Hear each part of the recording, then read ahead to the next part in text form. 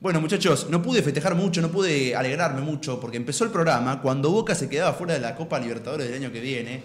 La verdad que se abre un panorama bastante interesante para River, ¿no? Porque nos permite la posibilidad de eh, ser sede de la final de la Copa Libertadores sin correr el riesgo de que Boca llegue a la final y la gane.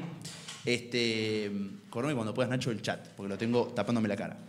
Eh, así que, que, bueno, es algo que nos pone un poco contentos, ¿no? Yo creo que el 50% del año de River lo complementa Boca con haber perdido la final, otra final más de Libertadores, y no haber clasificado a la Copa Libertadores el año que viene, que la verdad es, es un hito bastante importante eh, porque le saca a River una mochila encima. Le saca a River la mochila de no, no tener que estar pensando ni viendo cómo, este, cómo le va a Boca. Así que bueno, mayoría de edad, claro, sí, sí, ya van a llegar a los 18 años sin ganar a Libertadores, ¿no? Porque el año que viene, no, el año que viene se cumple 17. Y van a llegar a los 18 porque antes de la, cuando se, cuando se cumplen 18 años no va a haber final de Libertadores, porque se juega a fin de año. Este, así que bueno, bien, eh, la verdad que uno se pone contento con estas cosas, después juega River y uno se olvida, se quiere morir.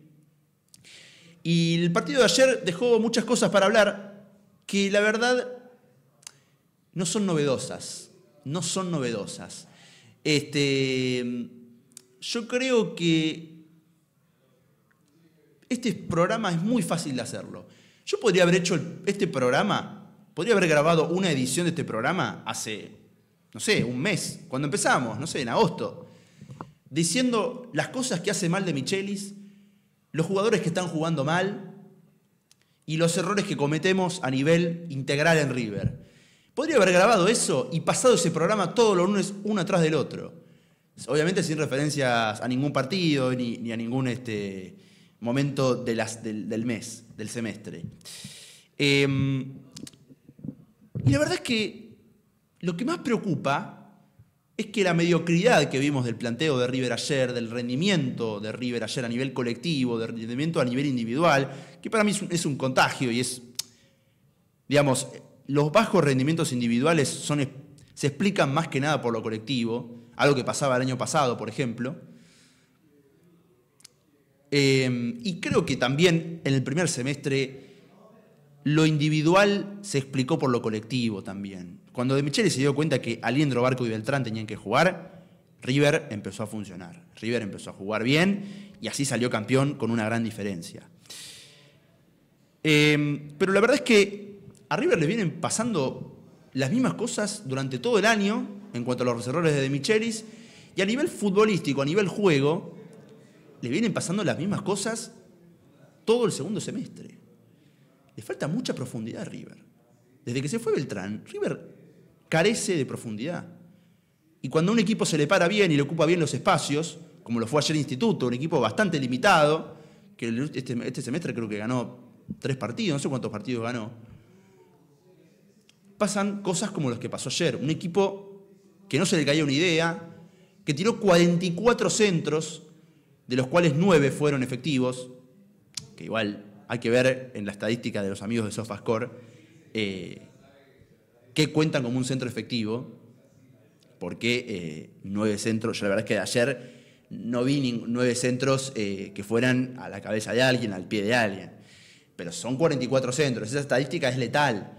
River en épocas de Angileri, cuando le pasaban estas mismas cosas, que un equipo se le cerraba atrás y buscaba por los costados constantemente como único recurso, le pasaba esto. Le pasaba esto de que tiraba centros a morir porque no se le caía una idea. Y otra cosa que me llamaba mucho la atención es que ayer no había una idea de juego de buscarlo por adentro. De...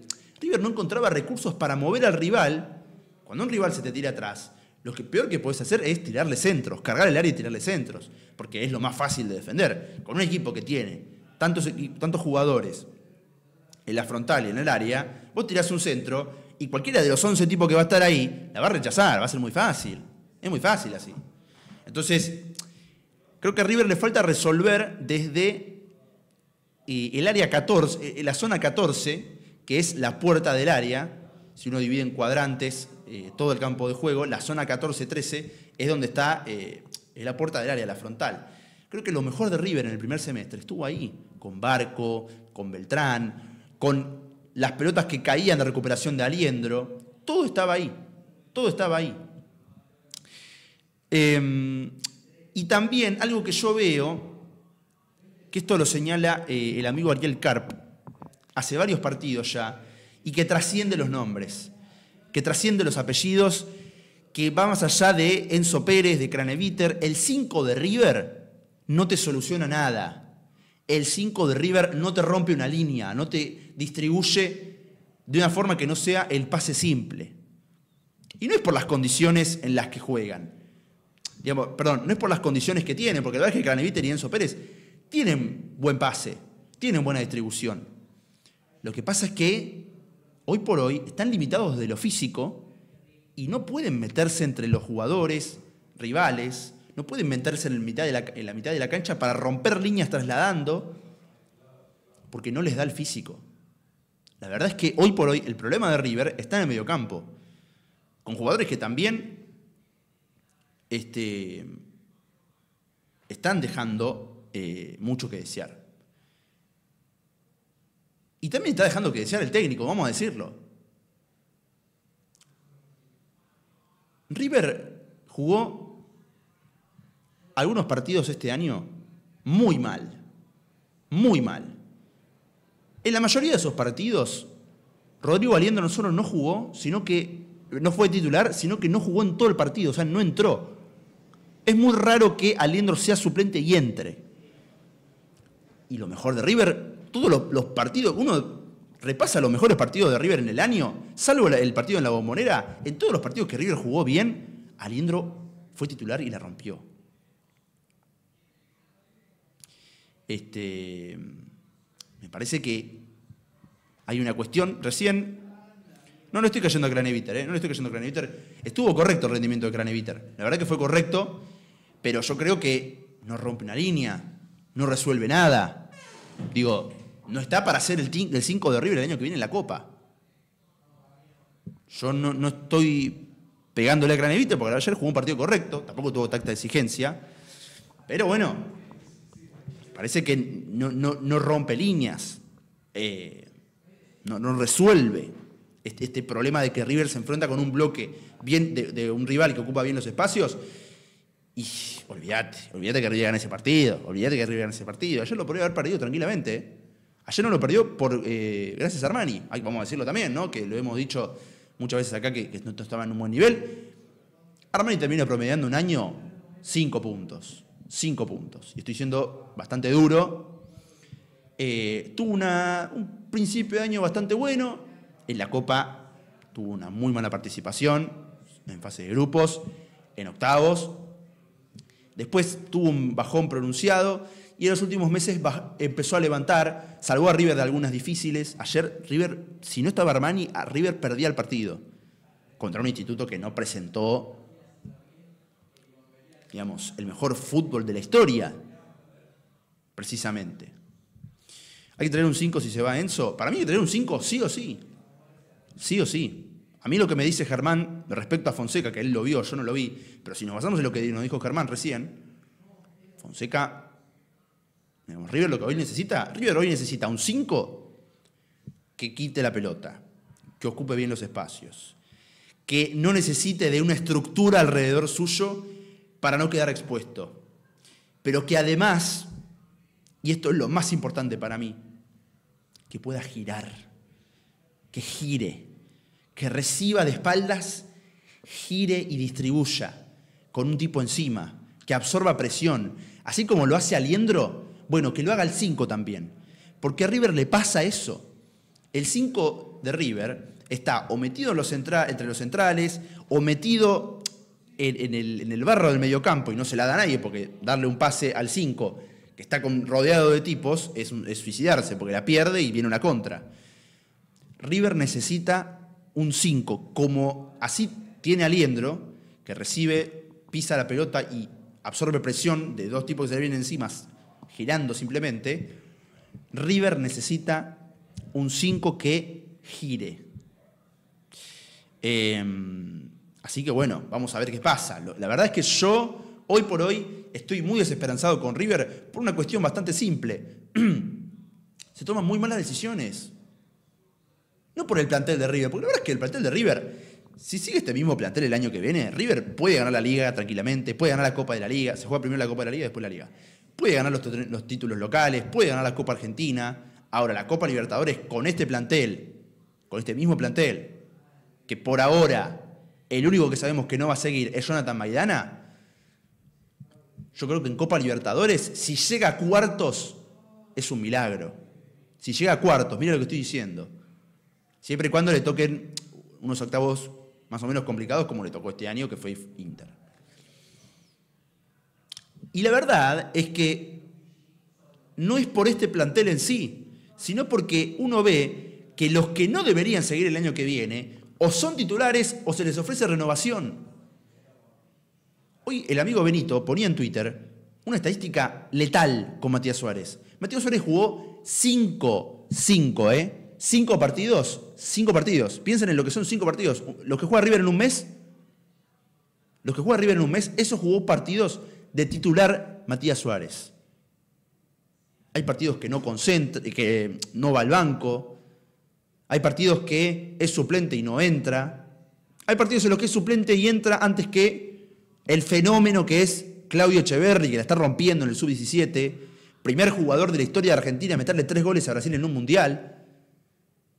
Bueno, ese jugador, Matías Suárez, que jugó cinco, cinco partidos de titular, el año pasado y este año. El año pasado y este año. 2022, 2023, perdón, dije antes 2023. En 2022 y 2023, cinco partidos. Elijo creer, ¿no? Elijo creer. Qué numerín. Este. Mm, es una vergüenza. La verdad es que es una vergüenza ofrecerle renovación a Matías Suárez. Lo mismo con Bruno Zuculini. Bruno Zuculini este año creo jugó tres partidos. ¿Cuántos partidos jugó Zuculini? ¿Cuántos partidos jugó Zuculini este año? Un tipo que estuvo lesionado y que ya en el año pasado ya estaba clarísimo que no estaba para jugar en River. Que a mi gusto, mientras mato un mosquito, no está para jugar en River desde que llegó. Es un jugador muy limitado, que sirvió en algún momento para jugar de doble 5, pero el valor que tenía es que el tipo rendía recuperando la pelota y en cierto, en cierto modo ayudaba a Enzo Pérez, pero después tuvo el partido con el Atlético Mineiro en el que fue un desastre absoluto. No, el de vuelta, ¿eh? el de vuelta no le caigo a él ni a ningún jugador porque ese día River eh, jugó mal porque eh, Gallardo hizo un desastre en la formación. No, no, le, le caigo por el partido de ida. Caigo por el partido de ida. entonces vos decís, decisiones que hay jugadores que no deberían ser el año que viene y son o titulares o les ofrecen renovación del contrato o entran antes que Aliendro. Ayer Palavecino entró antes que Aliendro, que Aliendro no entró. Un tipo que te ordena la mitad de la cancha, que te genera estas cosas que decíamos recién. Absorbe presión, pisa la pelota y gira para otro lado y te, genera una situación que no te esperabas. Aliendro, el segundo partido que jugó en River, Rodrigo Aliendro, el segundo partido que jugó en River, ¿eh? dejó cara a cara a Brian Romero contra Vélez a los tres minutos del partido de vuelta de Copa Libertadores en los octavos. Tres minutos, ¿eh? Tres minutos lo dejó cara a cara. Después, bueno, Brian Romero, Dios lo tenga en la gloria, definió. Definió como. como si estuviese jugando en la playa, ¿no? En fin. Eh, pero bueno, hay una mala lectura de De Michelis en los partidos, en cuanto al armado del, equipo titular, en cuanto a los cambios que hace, sigue fallando, sigue fallando, sigue fallando. Ayer River no tenía forma de entrar al área de instituto, probaba con centros, tampoco lo lograba. ¿Qué hizo? Pone Solari. ¿Qué hace? Pone a Palavecino, un tipo que ya hace dos años que en River no, no, no está a la altura. Ya dos años, ¿eh? El otro día se cumplieron dos años de River campeón de 2021, de partido con Racing. Aquel partido que River ganó 4 a 0 fue. 4 a 0, sí, sí, que metió un gol para la vecino justamente. Otro gol Julián y dos Brian. Sí, ¿no? Este, ya pasaron dos años de eso. Para vecino de, ese, de esa consagración para acá, ¿cuándo jugó bien? ¿Cuándo jugó bien? Eh, y ayer, bueno, la única chance clara que tuvo River en todo el partido fue un pase de barco a Palavecino que le alcanzó la pelota. Le alcanzó la pelota al arquero de instituto. En fin. Eh, los 15 minutos en Puerto Alegre jugó Bárbaro solo en estos dos años. Bueno, pero vamos, vamos a ser buenos.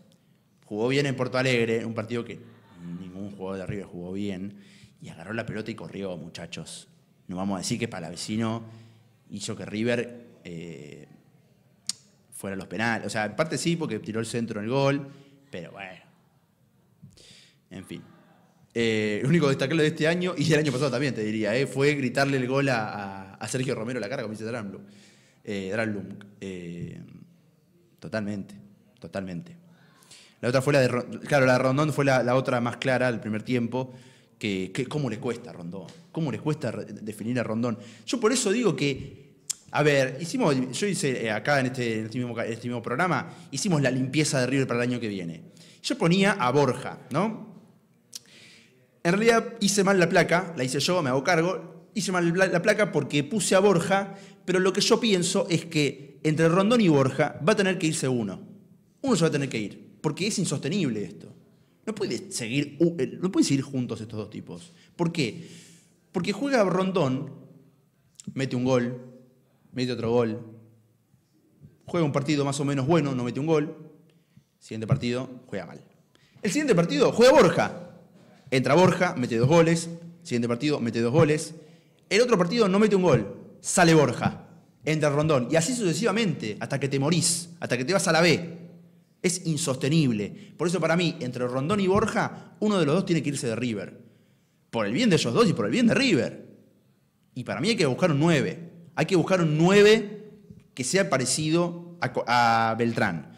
Yo durante mucho tiempo en este mismo espacio, he militado la idea de Colidio de 9. La verdad es que Colidio eh, no lo veo capacitado para ser 9 porque tiene muchos problemas de definición. Tiene muchos problemas de definición. Eh, no es que no tiene gol, es que tiene el arco cerca y falla. Y falla. Lo ha pasado en el Superclásico, ¿no? Una jugada espectacular que hizo con Barco, la tiró a la mierda. Eh, bueno, después en el gol de Enzo Díaz, él erra mano a mano con el arquero. Pero Em, la verdad es que no veo que pase nada de estas cosas, muchachos. No veo que pase nada de estas cosas. Zucurini, Suárez le ofrecen renovación. Mamana es probable que se vaya y me parece que está bien. Ahí banco, yo creo que Mamana sí tiene que ir de River porque no le sirve a nadie que le esté en River. Eh, juega poco y cuando juega, juega mal. Eh, es un jugadorazo, eh, pero se lesiona mucho. Lo mismo con Suárez. Digo, no, no, no, no sé, la verdad que no no veo que la situación vaya a, modificarse, no, no, veo que, esto vaya a cambiar el año que viene. Eh, no, solamente por, no solamente por una cuestión de, mm,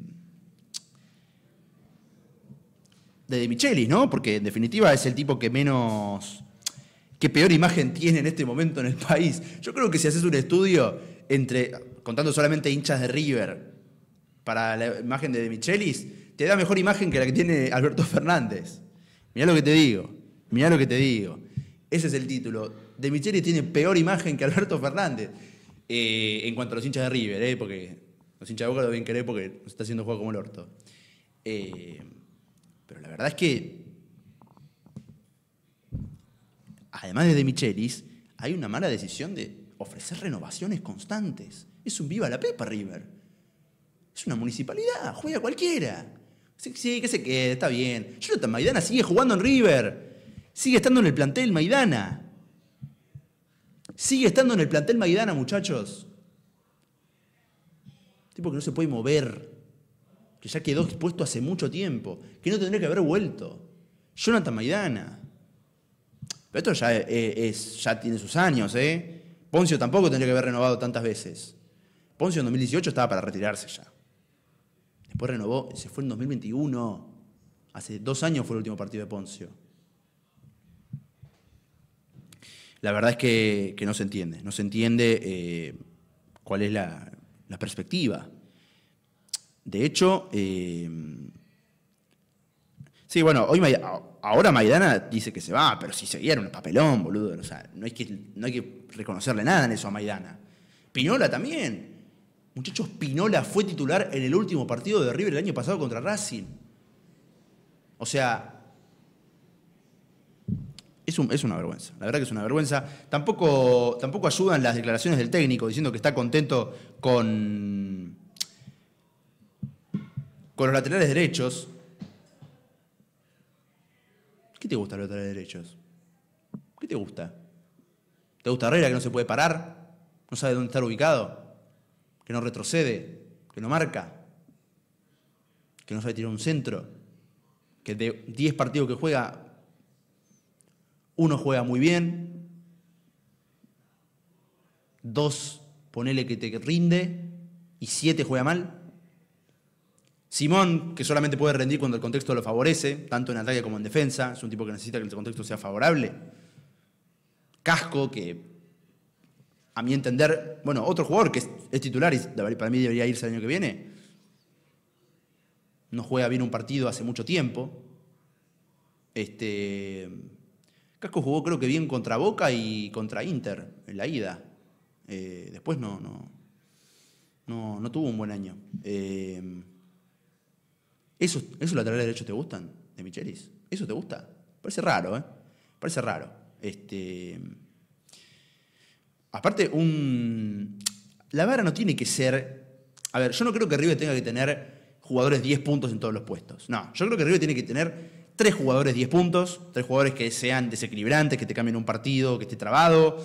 Eh, hoy por hoy creo que River los los tiene, no están en buen rendimiento algunos, eh, creo que Barco es uno de ellos, que Colidio es otro de ellos, aunque Colidio no juega nunca, ayer entró en el segundo en el entretiempo y fue un milagro de la vida, no hizo las cosas bien, pero bueno, yo la verdad, siempre repito, no le caigo a Colidio porque Colidio no tiene tantas oportunidades. Lanzini puede ser otro, tenés a Echeverry también, eh, que la verdad yo creo que Echeverry se va a poner la camiseta, va a jugar y le va a romper. Esa es mi sensación. Y tenés a Arlan López Muñoz, que si lo repatrias también tenés algo ahí. Con esos jugadores vos podés competir. Después necesitas jugadores 6 puntos. Algunos jugadores 6 puntos que te rellenen. 6 puntos. Eh, a ver, yo, eh, yo, soy, yo soy de provincia y en provincia se aprueba con 7. Eh, creo que River necesita jugadores que estén a la altura, por lo menos. Que sepan jugar en cualquier contexto. Porque la verdad que Simón, a mí en los partidos que no exigen mucho, yo no lo veo mal. Yo no lo veo mal. Pero cuando el contexto no favorece, y no, se nota mucho que no es lateral derecho. Se nota, mucho que es un lateral derecho. Entonces, si nosotros estamos pensando en la Copa Libertadores, en la que River tiene que competir, no tiene que ganarla. Porque se dice mucho esto de que eh, la Copa Libertadores es difícil, no, es que si no la ganás sos un fracasado. Eh, no, no, no. Copa Libertadores es difícil. River tiene que competir. Competir es llegar a semis. Después si quedas afuera en semis, bueno, no pasa nada. Llegaste a semis. O sea, te puede cruzar con un Palmeiras, con un Flamengo, con un Fluminense, lo que vos quieras. Tenés que llegar a semifinales. Y para llegar a semifinales necesitas un plantel a la altura. Un plantel a la altura. Y también ser inteligente en las decisiones, ¿no? Porque yo creo que la eliminación de River en este año no fue por una cuestión de, de falta de refuerzos, o porque los refuerzos llegaron tarde. No creo, no, coincido. La verdad que no coincido con esa lectura. Sí creo que faltaba un lateral derecho, Casco no estuvo a la altura en ningún momento, pero también, bueno, si de Michelis es un planteo espantoso en Brasil, bueno, eh, Casco, digamos, yo no le caigo a casi ningún jugador, salvo a Enzo Díaz que se agachó en el córner, bueno, eh, o a Solari que frenó en un contraataque. Después el resto, bueno. Eh, y aparte de eso, a ellos dos no les caigo por, no digo que son responsables, eh, les, caigo, esas, situaciones puntuales, pero fue en un 90% de Michelis. Entonces vos podés tener el mejor plantel del mundo, pero si el técnico hace una lectura pésima en el partido, ya desde el arranque, y es muy difícil, es muy difícil. Eh, y tenía, plantel para pasar a Inter, tenía plantel para pasar a Bolívar, que fue el, siguiente rival. Pero bueno, eh, para mí tiene que que conjugarse las dos cosas, buenas decisiones y buen planteo.